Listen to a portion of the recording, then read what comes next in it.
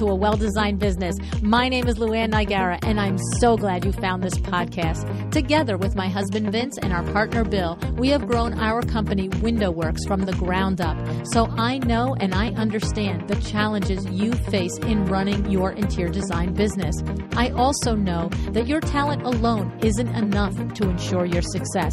So on this podcast, we talk about strategies and practical steps to help you grow your business. But make no mistake about it, we have our share of fun here too, mixed in with those aha moments that I love so much. This isn't fluff. Nobody has time for that. Whether you are a new interior designer or a seasoned designer, I am here to help you create and to manage the kind of interior design firm that you dream of. It's straight talk and it's action. Are you ready? Let's get started. Hi, welcome to a well designed business. It's Power Talk Friday. Today I'm joined by Casey Gromer of C Suite Boutique. C Suite Boutique works as fractional integrators for entrepreneurs. like, is that amazing? Right? Under their leadership, clients have scaled their businesses while working less and spending more time doing what they love. It sounds amazing, doesn't it? Casey also has a podcast called Female Founders Breaking Boundaries, where she encourages women to ditch traditional male dominated business advice in favor of a more realistic, more workable way of running your business while still achieving success.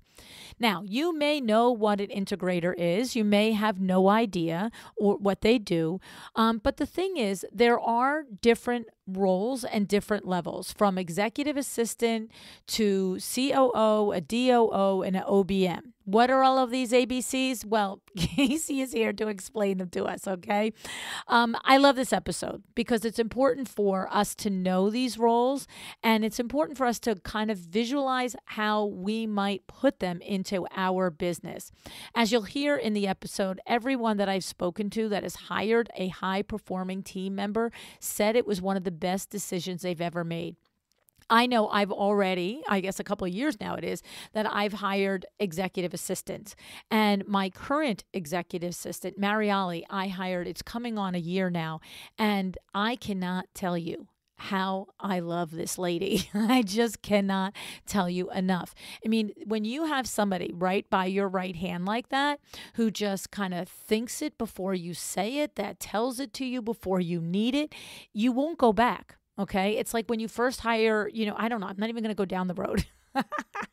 Before we get to the show, did you know that registration is open for LuAnn Live? Mm-hmm. Yes, it is. LuAnn Live 2023 Health and Wealth, a well designed business within a well designed life. You do not want to miss this. So far, I have Brad Leavitt from AFT Construction coming. We have Cheryl Luckett coming, Eileen Hahn, Amber De La Garza, Katie McDonald, Rachel Bozick, Christy Rocha, uh, and Heather Hanson is going to be our MC. This is going to be incredible. And I'm actually still adding rock stars as we speak. Okay. We're going to be in Orlando November 5th through 8th, 2023. And I'm going to tell you, it's crazy because there are 330 seats available two weeks ago i was like okay 330 and you know and i think i told you in last week's show on day one we sold 60 so don't hesitate Okay, don't hesitate. If you know you want to be there, if you were with us the last time and you remember how incredible it was, or everybody you know has told you, oh my goodness, you missed LuAnn Live 2019, you got to come. Okay, even 2021 virtually, it was amazing. So this is not your garden variety, you know, regular experience. I promise you, I bring 100, forget 100%, I bring 2 billion percent to this, okay? It is uh, going to be Sunday to Wednesday. If you do the VIP, it's through Wednesday. General admission is through Tuesday in Orlando. And we are going to have tons of fun and ton- tons of mind blowing ideas so that you can get your personal person, your human being body, brain, soul, and mind aligned with your business goals. Okay? Because that's what we want for you. We want for you every day to get up and be super happy and super proud and super confident in who you are, what you're doing, and the talents that you're bringing to the rest of us in the world, okay? So please join us. Go to luannlive.com and sign up. All righty, I am really excited to introduce you to Casey Gromer. Hey, Casey, thanks so much for joining me on the podcast today. Hi, LuAnn. I'm excited to be here. Yeah, it's not possible for you to even be one tenth as excited as I am, Casey. I promise you that. and that's a lot because I'm a very excitable person. So I am too. And I'm just telling you, I have buckets for both of us. All right. Oh my goodness. No, honest to goodness. Um, you know, this whole conversation, integrator, COO, DOO, OBM, I like this is a topic that has been chasing me in circles for the last six or seven months. And I just love your clarity on this topic. And so we're going to run through this. And I would love for us to start exactly there, Casey. Awesome. Run through for me the differences of this alphabet soup of people that can help us in our businesses. Awesome. I, am going to do that. And I'm actually going to throw another one in there. Um, this one is not an acronym, so it kind of stands out, but um, there's also executive assistants. And oh, okay. So they're all very similar roles. And um, I'm talk about this on my podcast, Female Founders Breaking Boundaries, because uh, I get a lot of questions from people uh, when they're, you know, connecting with me to see if I can support them. Like, hey, do you do this? Do you do this? Do you do this? And uh, so I realize there's a lot of confusion around who we need in our business at any given time. And so I'm going to kind of explain some of the differences between these different roles. And um, we're going to start with an executive assistant. And for those of you who are just bogged down in administrative tasks and at any given time are trying to get all of the minutia off of your plate, or if you're someone who feels like I just don't even have capacity to manage myself anymore, I need someone to come and manage me you probably need an executive assistant. This is a role that I actually recommend to anyone, regardless if you have a OBM, COO, or an integrator. Um, and the executive assistant, you want to kind of think of as an extension of yourself. So if I could make two of me, uh, my executive assistant would be that the other me. So they're going to basically come in and tell you what to do. And if you're someone who feels like that would be helpful or useful, then um, that's an executive assistant. So I have to tell you, I have had a version of an executive assistant for probably three years this summer. And my most recent one has been with me. It will be a year in July.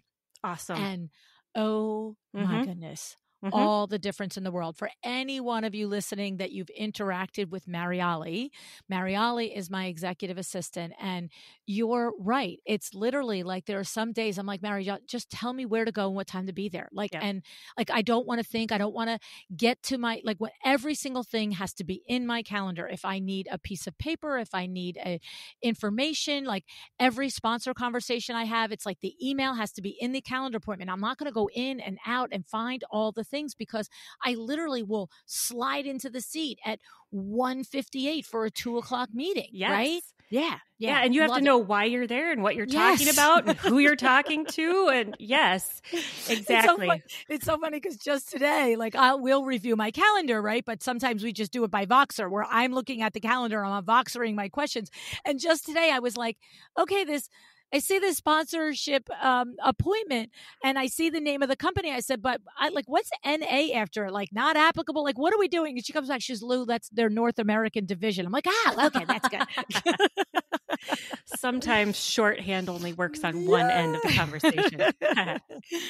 so, all right. So let's say though you have your executive assistant, but you need um, most of the clients I work with, um, and I imagine a lot of listeners of your podcast, LuAnn, are very visionary.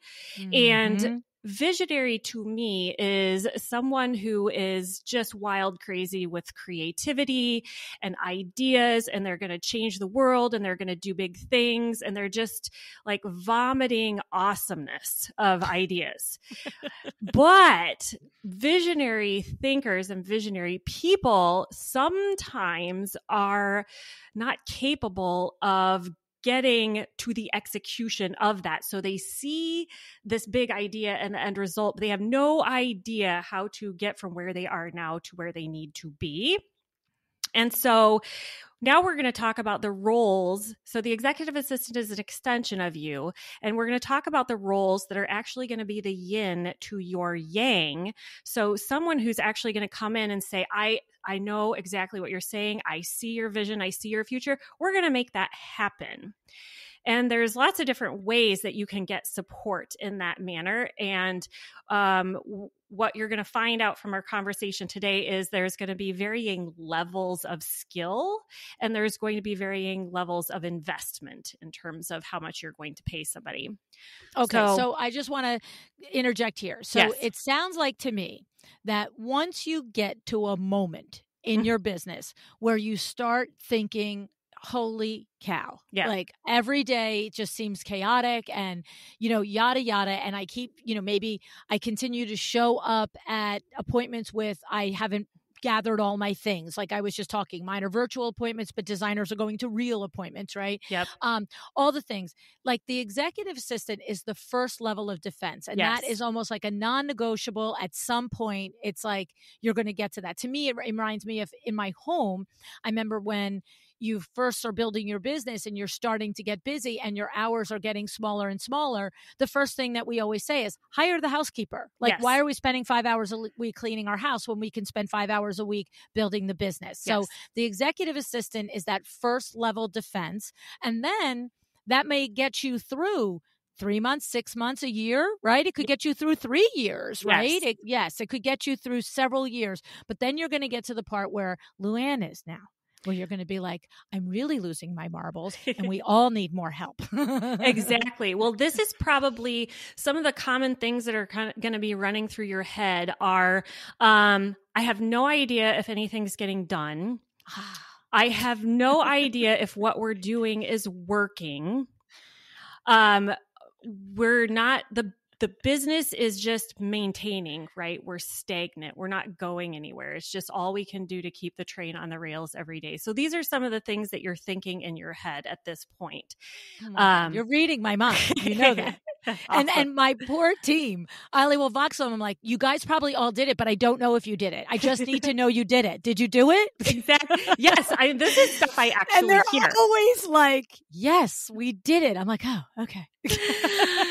Awesome. Well, so you're the OBM, if we're following our acronyms here, stands for Online Business Manager. Um, for designers, this can also be just a plain business manager. It doesn't have to be online. But business manager is kind of a step above executive assistant. So your executive assistant is going to be skilled and have a little bit of knowledge about your business and how your business runs. And they're going to be really trained to think exactly the way you think. But a business manager is going to kind of be your next level of, okay, I have a bunch of stuff going on. Um, I don't know how to get from A to Z. I can't manage all of my tasks. So a business manager is going to be um, someone who is a little bit more task oriented, but they're going to be able to um, look at goals that you have and break them down into smaller steps and manageable parts. And they're going to be able to actually complete some of that work for you and manage some of that work for you and keep track of all of the steps and the due dates and the deadlines and the budgets. And so um, they're definitely a workhorse. So if you're somebody who has a smaller team or you have, um, you're very good at like, I know what projects I need to complete. I know some of the goals I have for the next year. I know what those things are. Then you could easily get a business manager or an OBM in line to just kind of keep track of are we making progress on getting some of that done.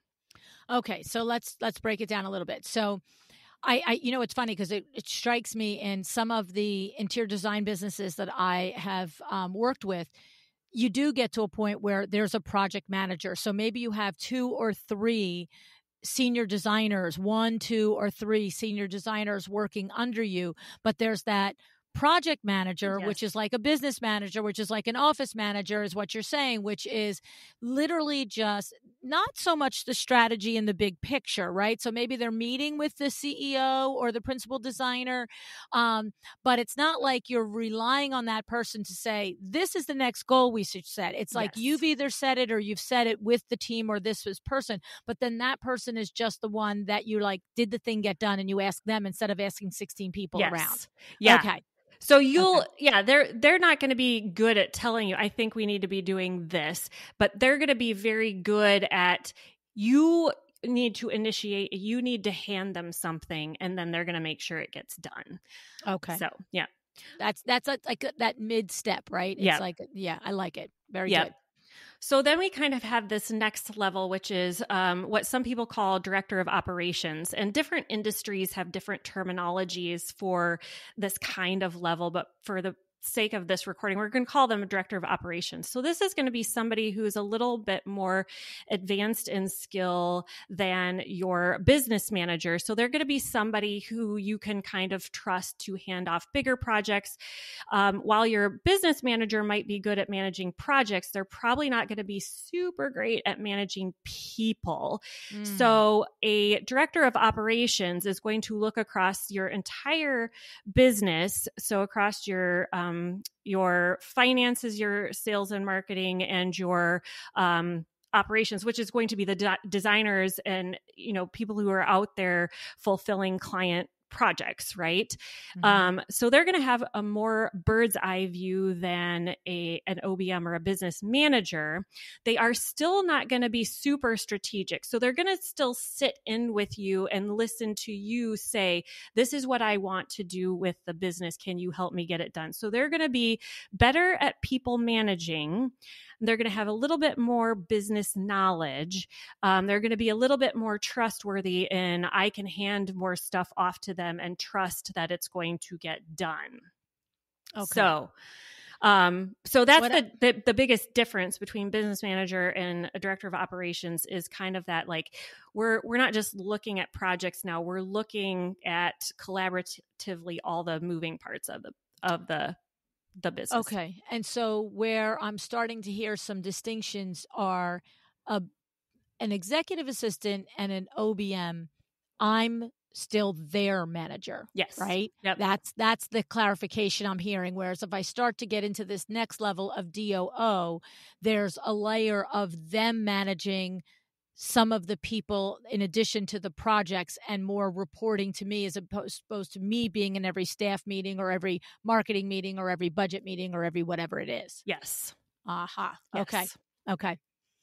So and it probably happens you know uh, it's it's based on the growth of your business too right. like are you do you still have bandwidth to manage people or not right, right. yes okay okay okay good all right so now we kind of get into this integrator or COO, and this is where things start to get a little gray instead of black and white. Um, for those of you who aren't familiar with what who an integrator is, they're basically the same as a COO. It's kind of a unique term that's been coined by a certain um, framework out there. But integrators um, and COOs are basically uh, going to run your business for you. So, this is for someone who is ex- super visionary. Maybe you have multiple businesses, maybe you have multiple passions. Um, maybe you're just like, I've been doing this for 10 years. I am exhausted. I just want to do the parts I love and like trust that somebody else is just going to run the whole show for me. This is getting into your integrator level or your COO level, where this person is going to basically be your right hand person. They're going to run the business. They're going to be good at strategy. So while they don't own the vision that you have, they understand the vision and they are um, completely engulfed by it. So that when it comes time for annual planning, or if you're looking at, if you do some quarterly planning, if you're looking at growth of the business or next steps for the business, they are going to be better equipped to come with you with suggestions and recommendations like based on what's happening in the market or the industry or with our team this is what i see as a good next step for this business. Okay. Now the gray area here though is there are there are um, levels of integrators and so on the on the one end of the spe- spectrum of integrators, you could technically say that might be a director of operations. So those are a little bit interchangeable. And then on the other end of the spectrum of integrator is the the one that's like, I can show up once a month to my business and I can trust that everything is going to still be functioning well and functioning properly. So that's the gray area where, um, kind of depending on what kind of support, what level of support, how much you want to pay, how much you want to be involved, and kind of what skill set you need. Um, that's kind of like that DOO and integrator COO uh, spectrum. Okay. So, question for you. Yeah. Is there I mean, I can see the progression, right? So yeah. I can see the progression. Finally, you know, I'm completely I can't even handle my own email. True statement.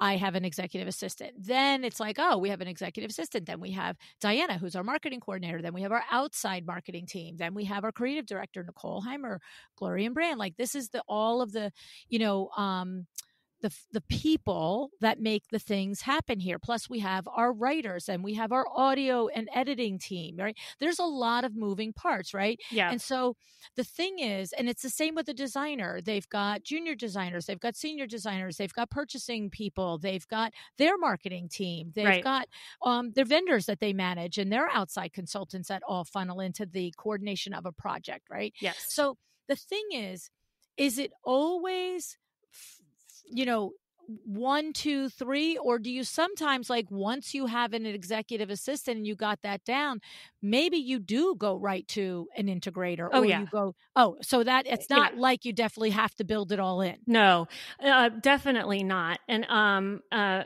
in fact, most of the clients I work with, um, they're they're doing an either or thing. They're either going with like a director of operations because that's the level of support they need, or they're going with an integrator because that's the level of support they need. Okay. With, with, your director of operations, you are still going to be highly involved in decision making because that director of operations is not going to have the ability to make strategic decisions for the business. They're going to rely on you to either help them make those decisions or to you know validate the decision they're recommending is okay. With your integrator you're going to be more likely to say, I don't need to be involved in those decisions because your integrator is probably going to know more about your business than you do. like you're going to know what you know, which is like, you know, good design. Your integrator is going to be like, I know finance, I know marketing, I know sales, and I mm. know um, customer service and operate, you know, like I know those things. And you're going to say, and that's what you're looking for is somebody who knows the stuff you don't know. So you can say, I trust you to make those decisions decisions on my behalf so I can focus on what I do really well, which is, you know, design, or maybe there's some other th- thing or reason that you started um, your design business. Uh, and that's kind of like your passion. Right, right, right, right. Okay. So so knowing and understanding these roles, that's awesome. But then I got to believe that there's probably typical stick points that yeah. you have noticed, right? Like somebody says, "This is all that I want," and then you're like, they get start working, and then they won't give up control, or they don't yep. know how to articulate their vision. Like, what are the things that we have to be on the lookout for, Casey? Um, the one that you just said is one of the it can de- derail you really quick. So you're paying money for a person to support you, but if you are not trusting them or not willing to give up control, uh, it, you're wasting your money because that person can't do what they need to do to support you. Um, the other sticking point is probably actually in the hiring process. And this is the one that makes me sad because we as business owners are making these hires because we don't know. We need support. We don't know what we're doing. We're looking for someone else can fill in those gaps for us.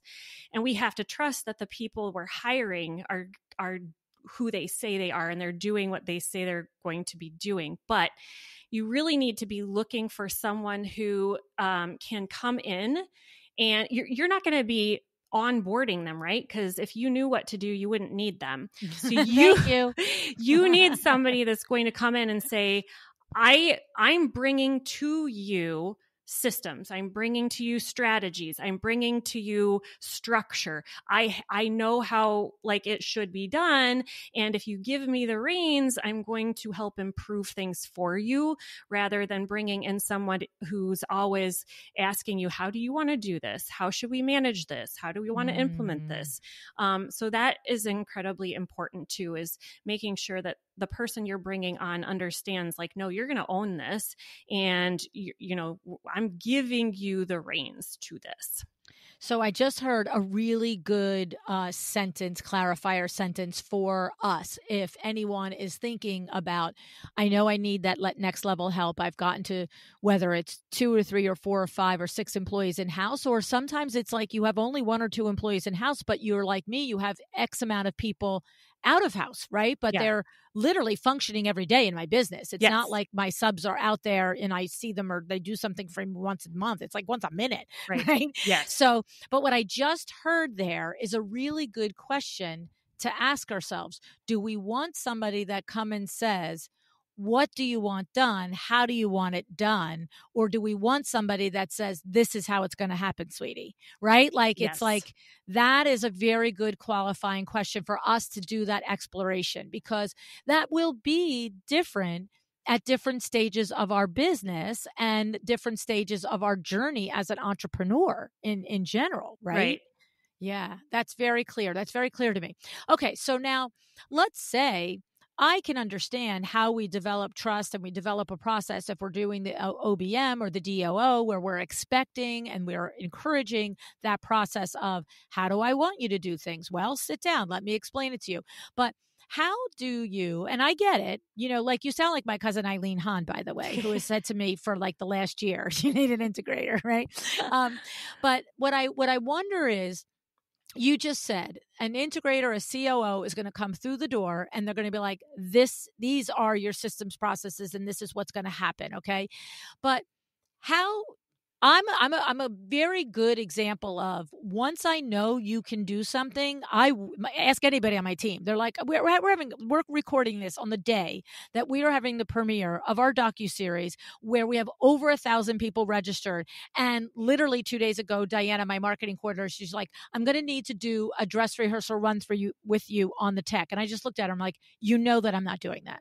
Like, figure it out, and I will sit down at 6:28 when it goes live. Like that's like stop. I'm not going to sit still for this.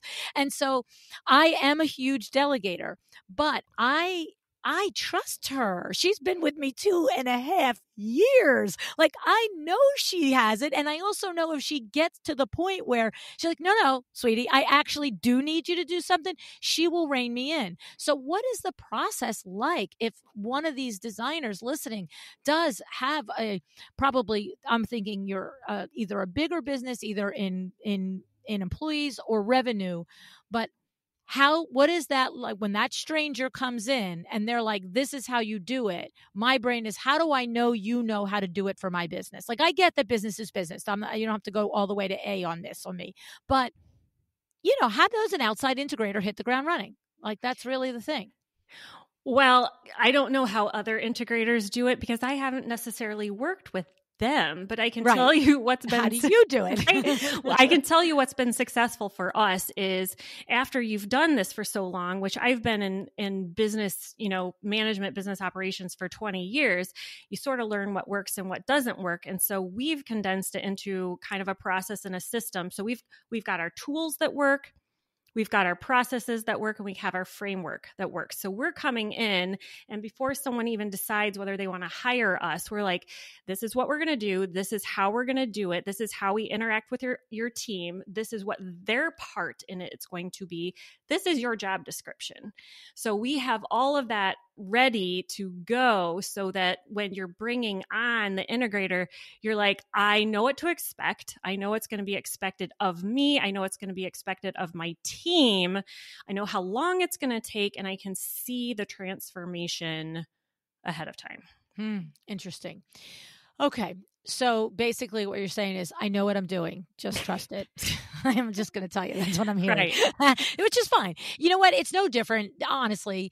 Um, I would think sometimes a consumer, if there weren't, see, see, interior designers have a portfolio right? An interior designer has a portfolio. So the consumer has that same moment of this is going to be multiple hundreds of thousands of dollars for you to design my home. And how do I know you're going to do a good job? Right. But there's that portfolio that sits there and says, okay, my house isn't going to look just like Sally Smith's house, but I can see that you can make a beautiful house. So this is like really like an intangible portfolio that we have to just trust that and of course i'm sure we can do reference checks and you know there's probably yeah. case studies and testimonials but you get the difference of like uh, like there's a tangible thing that uh, somebody can look at when they're nervous about hiring yeah. an interior designer, right? Right. Well, and accountability is I I really don't that's a whole nother episode in itself, but just quickly accountability is part of that. So if you're if you're bringing somebody on understand why. Why is this person coming in? What are they what value are they providing? And how will i know it's working? And we call that accountability and we figure out how to track that. Like how can we measure that? What ways you know what exists for us to measure that? And so as integrators we've kind of um, now, I'm a fractional integrator, which means I'm not coming in and working 40 hours a week for you. I'm coming in and working part time for you, doing mm-hmm. the things that you most need. So you can actually afford to hire somebody at this level. Um, but we commit to our clients like this is our this is our commitment to you and our promise to you and this, these are the things that you're going to measure that we're doing and if at any time it's not working then you get to decide uh, are you the right fit for this or are, is this like is this not working? And that's that's also what we use to monitor our own performance to say um, what we're doing is working or not working and if it's not working we have to pull some levers to change so. Okay. You know we have had several conversations on the podcast about this high level person coming into your firm. And every person that has told us that they've done it, there wasn't one person that said, Yeah, and it was worst money I ever spent. like every single one was like, slam dunk, you know? Right. And I, I, what it is is, and maybe you know, it's so funny because my daughter has a podcast, Casey, um, uh, Casey, that she is, it's called Sass Says, and every, and it's about mental health and it's oh. about content creation and things like that. And every once in a while, she's like, okay, so this was more of an intersesh than an interview. And that means like she got like therapy through her session uh-huh. more than she interviewed, right? So I'm sort of like feeling like this is an intersesh also, right? Um, but I do know that the designers that have come on that have expressed that they have gone, whether it was post Gino Wickman and the term integrator was popular, or it was pr- prior that me, me, you know, getting that mass recognition, right? Um, right. Um, and just like somebody that just came in and like did all the things in my business. Um, I think first of all, they've all expressed positive outcome afterwards. Secondarily, is that I think why it might be hard for us, first of all, you made a first statement that yes, a lot of our audience are visionaries. We yeah. are. The most of the audience is, right? Yes. But I think what it's hard is, is we don't have the ability to come into any business, let alone our own, and be like, here's how everything's going to get done. Right. like, you know, like, so for us to imagine that an outsider can come in and do this is just like, wait, what? right.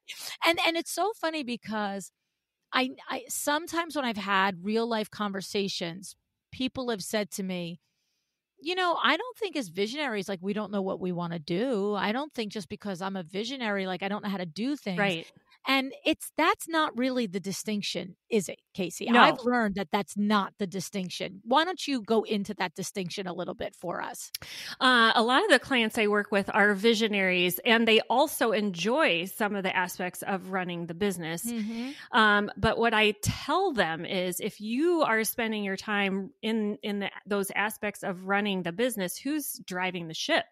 Mm-hmm. Nobody, nobody is looking out for the the business to make sure that you're staying on top of all the design trends and the construction trends and understanding what people are wanting to have happen with their homes and what other opportunities are out there to um, bring in revenue to the business and um, looking at your vision and saying, are we doing what you know what i set out to do are we making an impact the way i want to make an impact and nobody's looking at that and if nobody's looking at that you're kind of just skating and you have no idea what's going to happen one quarter for, for from one quarter to the next or from one year to the next yeah. and so you've got to have space for you to do that um in your business and that's yeah. that's why you bring in someone like me is so that you can you know dream scheme work on those like um, big partnerships and p- things that are going to escalate you um, into whatever your big hairy goals are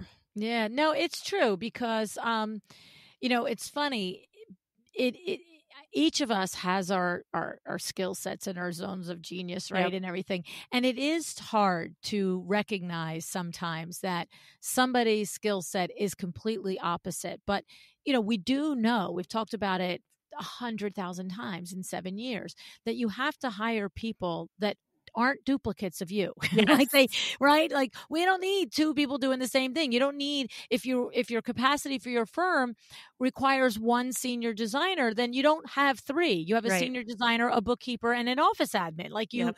you split it all up and so it is but i think what it is too is it's not just being a visionary, it's also being an entrepreneur. Yes. There's that I can get it done. I can do this. Like I just have to buckle down. Like that's what I always say to myself. Yep. I just have to buckle down. Yes. And my cousin Eileen is like, stop. Stop buckling down. just keep up in your like clouds where you are good. yes. So, okay. All right. So, are there when when somebody goes to think about hiring either a full-time or a fractional integrator casey whether it's through your discovery process or just giving somebody you know the tips and tricks on if they were going to do it outside of your company are there like when you go to interview somebody as a prospective person who might you might then do a contract as a eh, fractional integrator are there things that you look for? Like what do we have to say to ourselves and be straight yeah. in the mirror with? Like who is it right for i guess is what i'm trying to say. I feel like you just read my mind because i was like hey luann i forgot to mention this thing. Um, i will tell you so when we're talking about visionaries right and finding somebody who's the opposite of us or who operates differently from us um, i will tell you that i have on occasion either um, co- consulted with or we attempted to work together with someone who thinks like me. So, someone who has an integrator type mindset, and it does not work. Mm. You cannot have two integrators, at least with me, you can't because then you have two people who each have the same idea, you know, like like we have different ideas about how to do the same thing. Mm. So if you are if you do happen to be somebody who thinks analytically, logically, very project oriented, you don't you don't need an integrator. You need somebody who has more free thinking skills. And I don't know how that looks yet because I've never seen that work. But um, I, I know I cannot work with you because um, we're always going to be second guessed. We're not going to do the things the way you think they need to be done. And you're going to still end up keeping your hands in everything because that's what you're, you know, that's what you're primed to do. So. Mm. That makes sense because you know what? There are people who are entrepreneurs, interior designers, and all the things mm-hmm. who have the visionary skill. Like I would, t- I have to tell you, of all the convers, like I've had a lot of conversations about this. I've been doing a lot of research. Okay, um, I think my husband Vinny is a real combination of mm. a visionary and an integrator. Like. Oh. He doesn't have quite the abandon in visionary thinking that I have, but he has a heck of a lot of integrator skill sets and personality. It's crazy. And so, and it's not as though he has no visionary aspect. Like it's weird. And so the more I've learned about it, and you're 100% right, because over our lifetime together in business, depending on wh- who, which people have worked for us, just him and I, you know, that's one of the places that we're going to butt heads. Like he has no problem if I come up with a crazy idea back in the, you know, late, um, early 90s, like, oh, I think we should have a website. He's like, what's a website? Why do we need that? And I'm like, it's the next best thing. And he's like, who needs it? I'm like, we need it. Right. And so he'll be like, all right, fine, get a website. When I said, let's have a podcast, what's a podcast? We need one. Don't worry. Right. And so the thing is, he'll go along with my super out of the box visionary things. But anytime I have some sort of advice, suggestion that I've learned from some crazy, wonderful expert on this podcast on the way to do and execute it, execute something, he's like, nah, we're not going to do it that way. And I'm like, hmm, that's so fun. he's like, nope. You know what I mean? And yes. so, and so, but he also is very visionary in looking at the trends and like okay what's happening one quarter two quarters three quarters from now how are we moving people around and stuff like that so yes. he's a very yeah he would not be good to have an integrator because he would tell the integrator mm-hmm. every day no no thank you none of that thank you yes that's exactly how that works uh, yeah so it's good that you guys have that partnership and you it's like you're looking out for each other you know like yeah yeah yeah, yeah. it's worked for us it, it totally has so but we do i do know that there's designers that have that analytical side mm-hmm. as well. And so it seems to me that that person would probably benefit more from the DOO yes. or even just the business manager. It's like, I'm still going to make all the decisions, and maybe that's the way I like my life, but I need you down in the weeds, like the two or three management level below me, making sure all the people are doing the things, yes. right? Yes, yeah. that's absolutely how that should work. Yes. Makes sense. Makes yeah. total sense to me. So, so I guess the thing is, there's a lot of us that are going to sit on this fence, and there's some of us that will jump over and make phone calls to you and other people to possibly investigate any of these positions. But what about just like today? Like accountability like here i am i'm this designer i'm running my business and i i we've got a lot of a lot of companies that have the process and systems in place it's not like it's devoid of process and systems but there is that tough roundup of accountability and mm-hmm. i recognize that it probably is a whole podcast but are there tips that you can give us right away to walk away with and say here's some strategies for uh, developing accountability into your team whether it's a team of 3 or a team of 20? Yeah, this is my favorite topic. So I will uh, see if I can condense it enough. I think um, it's it's something that I discovered after doing accountability planning um, and organizational planning for a long time, and I finally started to recognize like trends and like why this is working versus what is not working. And here's what I will say when you're looking at your business and you're either de- trying to decide, do I actually have the right people doing the right things? Or if you're trying to decide who you need to hire next, what I want you to do is um, your your design business is has three major functions that keep your keep the train on the rails, so to speak. You have marketing and sales that brings the business in. You have operations, which delivers what you promise to your clients. And then you have finance, which is making sure you get paid and you pay your bills and you're making smart spending decisions. So everything that happens in your business falls into one of those three categories. Mm.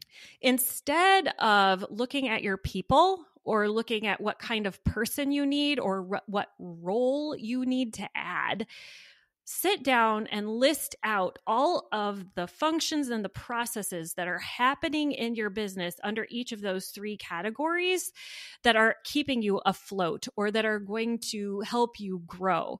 We're you so that's where you need to understand what are the functions that happen in my business mm. what are the processes that happen in my business so list them out and there will be um, trends where like some processes are going to group together really well and what you're looking for is somebody to be accountable for functions and somebody to be accountable for processes. And sometimes a person is going to be accountable for multiple functions and multiple processes.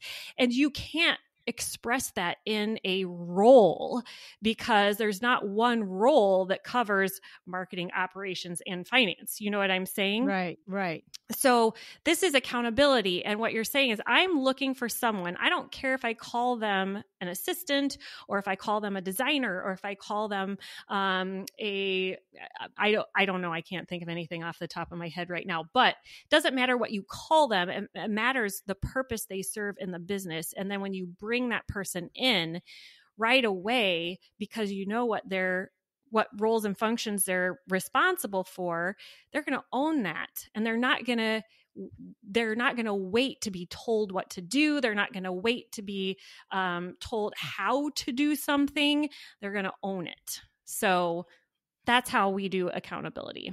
Okay i love it all right. I love it. But I have a clarifying question. Yeah. You said you are going to, first of all, the three areas, three main areas of any business, right? All our yep. businesses. And we're going to list all of the things that occur under that business that yep. that title right so yep. in finance it's going to be sending clients invoices it's yep. going to be checking vendors invoices it's going to be you know processing you know deposits and balance dues and it's going to be all those things okay it's going to be rectifying the check the um the credit cards right like you might have multiple people out there with a company credit card are they you know is somebody checking that they're having lunch with their mother or lunch with a client right like yep. all the things under finance right yeah and then what you're saying is then you said this is part i'm not sure then you want to figure out who is the person that's going to be accountable for the function and the person that's going to be accountable for the process. Yeah so talk to me about the difference between the function and the process in this yeah. relation in this this conversation that's a good clarifying question because i i have a a template you know like a visual template i use that i i'm seeing it in my head right now and you are not seeing that so um so let's say a a function is a is like an overarching responsibility. So, finance as a function, for example, whoever is in charge of finance, um, why do you have finance? Well, you have finance to make sure you get paid. You have finance to make sure your bills are paid. And you pay your taxes. So that's kind of like the accountability of finance. But mm. then what you mm. said is you're just listing underneath of that what else happens underneath there. Well, we have Got invoicing it. clients, we have um, following up on um, overdue payments, we have all of that stuff. And um, that would be a process. So depending on how big the business is, uh, you know, if you bigger businesses have so much work to do that they have to divide those things up yes. among multiple people. Um, but some businesses don't, and you might have one person that does finances and operations all at the same time. So it just depends on how much work you have and how much capacity is needed, how much you kind of need to break that down. Okay. That makes that now it's clear to me. Like, for example, in Window Works, Catherine is responsible for getting all of the invoices from all of the people, all of the vendors, and making sure that they're accurate. But then you know, Joanna is going to make sure that they're all actually entered into individual projects. Like every cost goes into every individual project. But then ultimately, JC is going to pay the bill for it. So he's the one who is the person that is account. Well, it was Vinny for a thousand years, and now it's JC, right? So everybody's like, wait a minute, what happened to Vinman? Vinman is turning it over to JC, right? So what it is is Vin and slash JC are responsible for the the function of finance, but different people have different own accountability to the processes under finance. Yes, absolutely. And then if I'm an interior designer where maybe I'm up to three or four employees, I might do everything related to finance yep. as opposed to, well, I probably have a bookkeeper that does a lot of the day to day, but really most of the accountability under process and function are going to come to me. Yes. Got it. Got it. And then the bigger firms, you know, I'm thinking of, you know, the bigger firms, Tracy Connell and, um, you know, um, uh, you know, I'm just thinking of the bigger Susan Winterstein, some of these bigger firms where they've got 10, 15, 20 employees. Yep Right. So they probably also actually have somebody who's accountable for function and process, and they're above all of that. Yes. Got it. Got it. Got it. Got it. Okay. So that makes sense. And you know what I love about that is even if you are, I would say, if you're a company with 5, 8, 10, 15, 20 employees, and you're having problems with things getting done and people completing things, then there probably is a problem in the communication of who owns the process and yes. who owns the function. I can see that now. Yes. Yeah. Yeah. It's the number one thing. Yes. Absolutely. I can see it because what happens is I'm, you know, I'm visualizing WindowWorks as WindowWorks has grown through the years.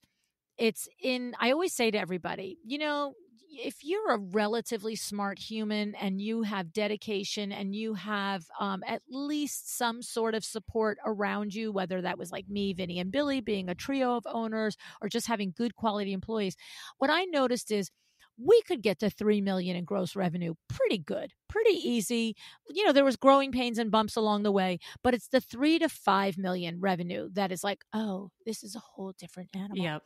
and the reason is is because now exactly what you just said there's quote unquote middle management that are not necessarily enunciated not necessarily with their functions with their accountability tied to their functions because it's this like, well, doesn't Vin do that? Wait, doesn't Lou do that? Well, I thought JC was doing that.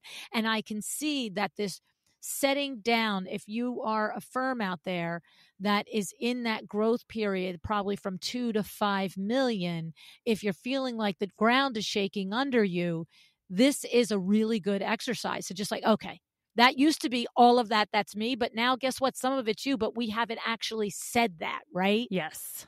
I love it. I love it. And then also, even if you're a smaller company, maybe you've just got two employees, right? Like, I thought you did that. I thought you did that. Well, why did anybody think anybody did it? Where is the rules where it says who's doing it, right? Right. well, and I, um, you know, this started out. So if you're following the Gino Wickman, they're they're telling you this is a tool for the businesses 1 to 10 million or 2 to 10 million or whatever.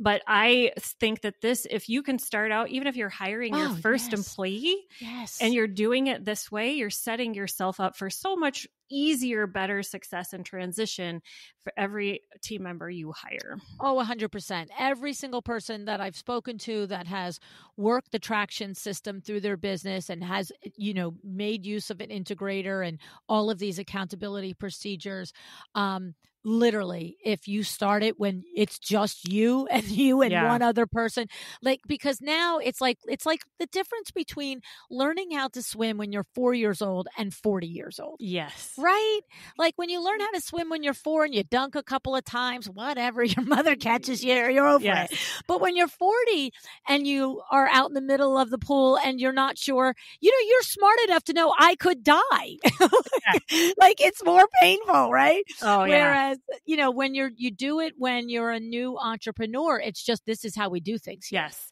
Well, yeah. and I've fixed I am am fixing and have fixed those messes where you've got 35 employees and mm. it's so much harder to you to undo everything and redo it again because you're going to lose people that are like i this isn't what i was hired to do or who are mm. tired of showing up and not having any idea what's going on and it takes mm. forever. So yes. yeah, yeah it does. So so talk to us about the ideal. We talked about who is not an ideal candidate for a fractional um, integrator or even a full-time integrator. Who you're having an interview with somebody and what kinds of things do you want to hear out of somebody and you're like yep you're a candidate um well, uh, this is personal to me. Yes, yes. But I do think like in some respects it's helpful for any business, but if um if I'm talking to somebody whose main focus is just on revenue, I don't want to work with them because, uh, well, what I want to hear them say is that they have a purpose or they have a passion or a focus on something. Revenue is a result of that idea that takes off. But if um, you're just 100%, if you're just in it for the money, what's going to happen is your decisions are just going to be driven by random whatever's working at the moment. They're not, maybe not going to sometimes maybe not be the best ethical decisions or the best mm. business decisions or the best decisions for your clients or your community. And so I really think that you have to know and understand there has to be a purpose behind what you're doing so that we're not just chasing money all over the place because that there's no fulfillment in that and it's also um, changes daily. Okay. I love it. I love it. And is there are there revenue levels that make more sense or it doesn't matter you would take somebody at the beginning stages or you take somebody at 10 years 20 years in that finally is like that's it line in the sand i want to get this place organized um I'm going to give some parameters and just know there's nuance to everything. But more important than revenue levels is the number of people you have. So the more people that you have doing things for your business, the more value you're going to get from an integrator. But just knowing how much it costs, like this is a non revenue generating role that you're bringing into the business. So this role has to be able to somehow either reduce your costs, increase your profits, or um, a combination of both. And so, usually, the businesses who are able to bring us in and afford doing that are at least over a million. Okay. Okay. All right. All right. I love it. Anything that I will use my daughter's line from her podcast. Anything that you wish I asked you that I hadn't asked you? um, you know, nothing that I wish you had asked me, but I just want to mention that if the, I go into incredible like new detail into these concepts on female founders breaking boundaries podcast mm. so if you're interested in learning more about how you can create your own um, accountability, delegation, d- make decisions on who you need to hire. Um, there's episodes out there that are going to go into um, very specific detail. You should be able to walk away r- from them with an outline that you can implement in your business. I love it. I know. I have been kind of binging on the podcast lately. awesome. yes. Uh, so um, I'm so grateful for you to share your time with us, Casey, today because um, I do know, like I said, we have had multiple designers come on here and tell us uh, Laura Umansky, Vic, Vicky Sereni, uh, Reagan Baker, multiple that have come on and said, yes, this was a game changer for my business when I not only either hired an integrator or a COO, but but more just got clarity in the roles and intentionally filled this like you know, like it's almost like a little management hierarchy, right? So yeah. that we can keep with our head above water and doing, you know, the lane that we're supposed to be in. And if that's design and rainmaking for a, a design principle, like I feel like that's their two lanes, right? Yeah. Overseeing the design, the vision of not uh, just the company, but the aesthetic for the clients, but also, you know, rainmaking. They're the face, they're the people. Like, like they bring the clients in. And if you're sitting there trying to figure out if your, you know, installers, you know,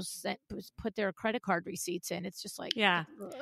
I I like to say if you hire somebody and you switch from doing all the things to managing, uh, and you're not saving any time, you've probably made the wrong hire. Mm, absolutely. Absolutely. I love it. Well, um, Casey, tell us how we find you. And of course, we'll also put it in the show notes, but tell us how we find you. Uh, my website is c suiteboutique.com.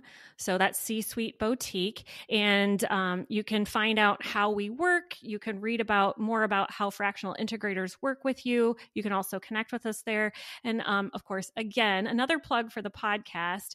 Uh, come you know, listen to me, see if you like what I have to say over at Female Founders Breaking Boundaries. Love it. Love it. Thank you so much, Casey.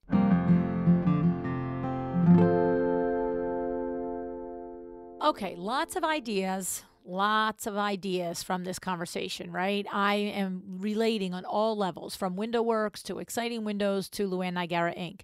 And it does remind me, as I mentioned in the show, of the few conversations that I've had over the years with Laura Umansky and Vicky Sereni, who literally talked about in the episode how it was a game changer to work with an integrator in their businesses. Reagan Baker, Reagan Baker talked about how how important it is to have a team that shares your values. Okay, all of this comes with strong strong leadership. That's the point. Okay. Now, it's a little scary to think about hiring people at this level um, and giving over so much responsibility. I know it, right? And and I, first of all, I love that Casey refers to you as a visionary, right? Because she knows, she knows that's what you are. We are. We have big plans. We have visions. We are the entrepreneur. But but the thing is, she knows, and we know, we don't always have the capacity and the wherewithal to say this is how it's going to happen. We have the vision for where we want to be but that little technical part about getting there, sometimes it's tricky, right? Right? And it's not that we're incompetent. It's not that we don't know how to do things. It's not that we couldn't even figure it out if God, for, for, for crying out loud, we had to, right? But sometimes, isn't it just recognizing it's not your superpower? And why do you keep banging your head against the wall? Sometimes we just have to bring in somebody who is the yin to our yang, right? And here's the thing Casey said when you do go to hire an integrator or a D- director of operations or a COO. I love that she was clear. No, you are looking for someone who's going to come in the door and say to us, this is what I will do. This is what I will bring to your business. This are the systems, the strategy, and the structure. Okay. They will tell you. That's what I heard loud and clear.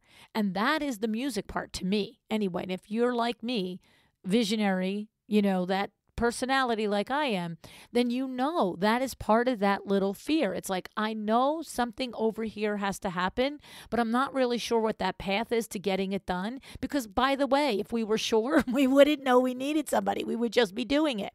And so, that little thing right there that a stranger is going to come in and say, after looking at your business, after interviewing you, after talking to the different people on your team, they are going to have the plan. Love that.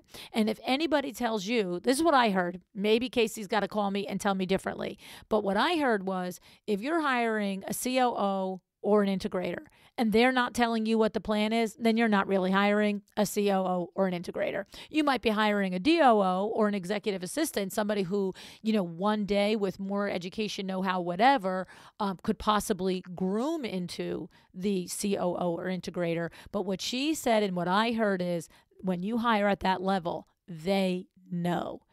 And that just feels so good, doesn't it? now, you don't have to go and hire everybody all in order, right? You can skip a step. You can go right to the integrator. The decision is based on the growth of your business and the level of support you need, and probably also the dreams for your business, the what you have as your vision. Okay. It's not a decision you make lightly, right? In all aspects, it's a practice of listening to your inside. Listen to what your inside voice says, right? You know what you're capable of, you know what you're willing to do, and it's the taking of the time, the taking of the time to figure it out. What do you need help with? How could you be supported in your own dang business, right? So remember, we talked on the show with Fernando Duque, the founder of Duke Renders. You have to go back and listen to that episode as well.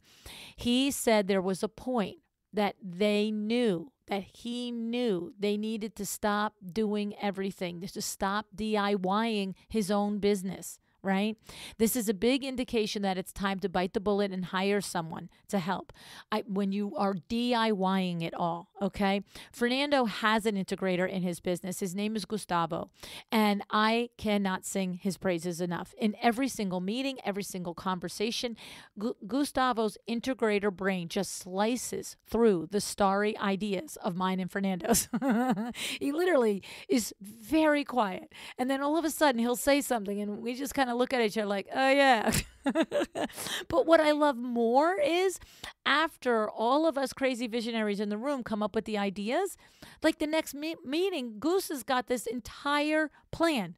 Like these are the accountability charts. These are who do this. These are the steps under that. Like you cannot fathom if you've never ever watched this, felt this, had this in real life. You almost can't fathom it because your brain doesn't work that way right? If you know now there are entrepreneurs that have integrated brains. I talked to you guys about my my husband Vincenz. I really believe he's a hybrid. I really really believe he's a hybrid. Um, but most of us are not. Most of us are one lane or the other, and so. Um, I, I, I, just encourage you if you're in that spot, if you're in that tip and you're just tipping over and you're just like that one step could make that difference, don't hesitate. Good people on your team is the is the way for your vision to come to life. All right. So thank you, Casey. I'm grateful that you came on the show to share your knowledge and your expertise and to clarify these important roles for us, right? So we can visualize our team growing up through these roles, right? Or if we need to leapfrog around, around them, right? If you're interested, I suggest you reach out to Casey. We will put her, um, you know, links and so forth in the show notes. Love it, all the things. All righty. I hope uh, you guys have a great day. Decide to be excellent.